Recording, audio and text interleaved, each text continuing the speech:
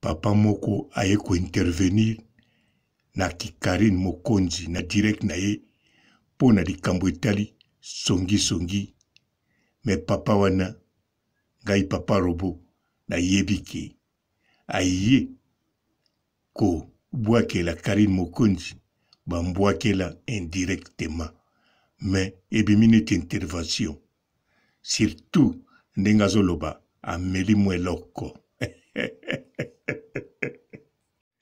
deba eleki na direct ya karine mokonzi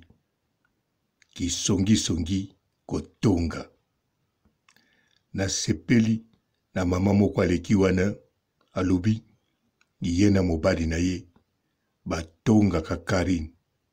batongi batongi balembi bandeko bino nyonso bozolanda nga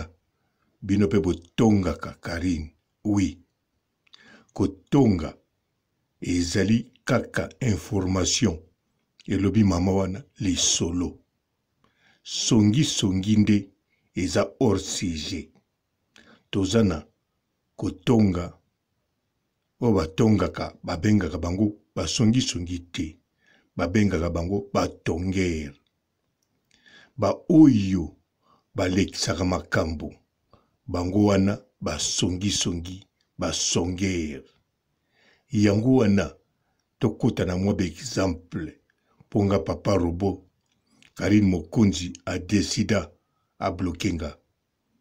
libela bon nayebi te soki nazali papa éternel ya kobloke nayebi te mbote bapapa bamama bandeko mbote barando na barandonete mbote bato oyo balingaka rando na baoyo balingaka rando te. Mbote ba jeune garçon na ba jeune fille. Mbote bana mike na ba bebe. Mbote ba Sainte Anuarite, Sainte Therese, Sainte Ingrid Kabongo. Bandeko, tolandi ba exemple ya ba mama ebele. Mama moko alobi Likambo etinda bato bakoma basongisongi ezali ba wifi, ba telefone ya fixe. Oui, aza na raison parce que ba telefone ya fixe ekoma ofele na Europe. Alors lokola ekoma ofele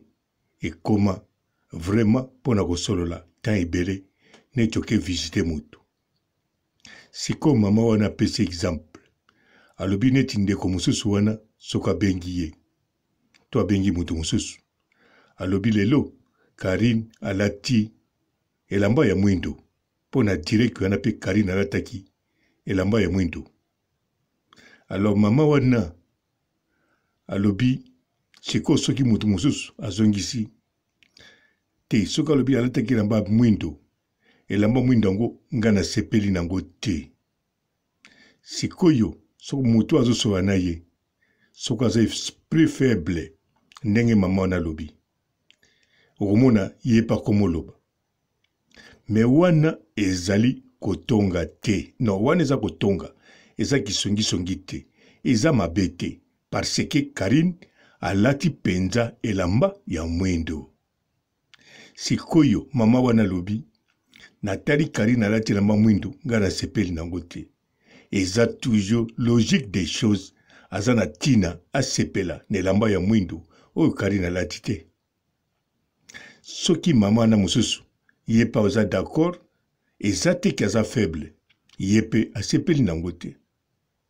wana eza kotonga mpo alobi likambo juste me sikoyo soki alobi namoni karine alati elamba ya mwindu elamba wana fo ezala bamiyibi moto batekeli ye mpo namonaki yango na magaze moko boye wana ekomi information te ekomi kotonga te ekomi kisongisongi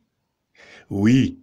sikoyo d'après ya moni Karine avalata robe wana ya mwindo fokaka somba ngo pa bamiyibi to bato babeti kula wana ekomi kisongisongi bandeko kotonga ezali information ndenge botalaka na televizio kotonga eza ndenge bosombaka bajournal journal eyebisaka bino makambo eleki journal kutu na tv ekóma na kisongisongi nga te mona koloba yango soki tembe bokende tu na donald trump akoyebisa bino bato bapesi ye kanda bato batongi ye na mokili oyo eza televizio akoloba na bino bino moko boka komona na twiti na ye akokoma yango chaque fois aza kofinga basonge oyo bazotonge bazobakisile makambo oyo eza te donk songisongi abakisaka ainventaka akreaka donk eza bongo epui likambo mosusu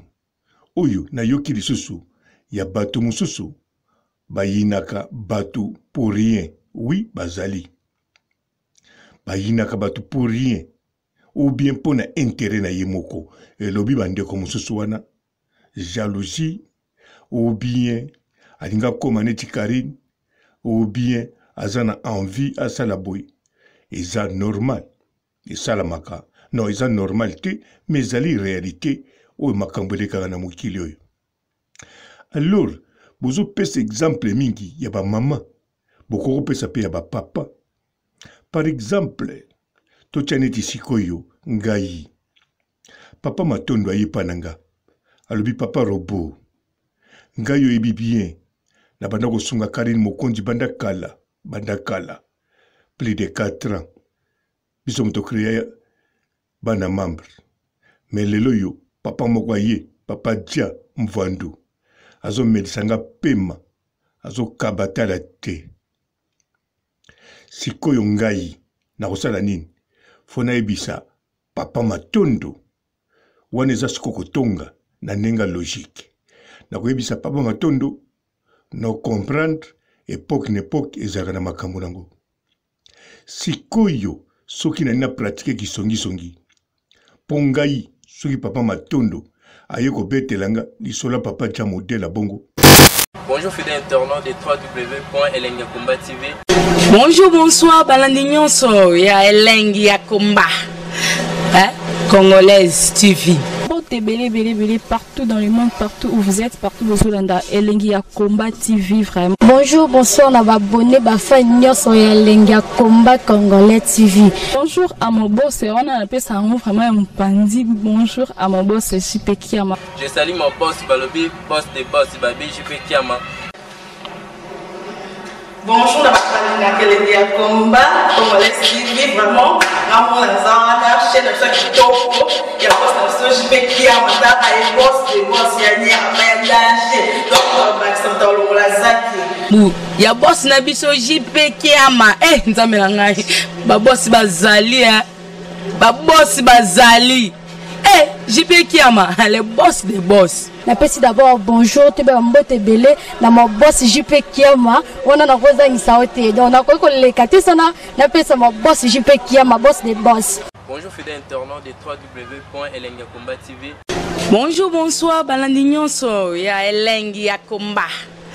hein? Congolaise TV. Mbote bele bele bele partout dans le monde, partout où vous êtes, partout bozolanda Elengi ya Combat TV vraiment. Bonjour, bonsoir na babonne ba fan nyonso ya Elengi ya Combat Congolais TV. Bonjour à mon boss, wana na pesa yango vraiment ya mpanzi. Bonjour à mon boss JP Kiama. Je salue mon boss Balobi, boss de boss Babi JP Kiama.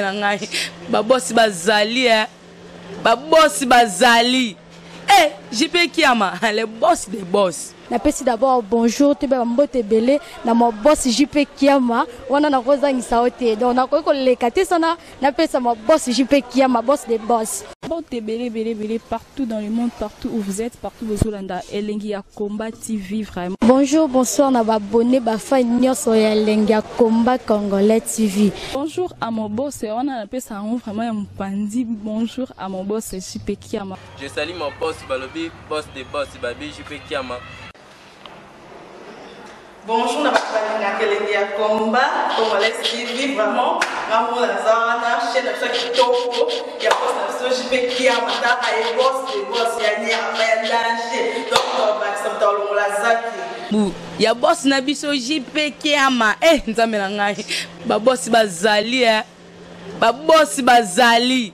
eh JP Kiama le boss des boss napesi d'abord bonjour toyeba bambote ebele na mwa boss jp kiama wana nakozangisa yo te donc nakoki koleka te sana napesa mwa boss jp kiama boss de boss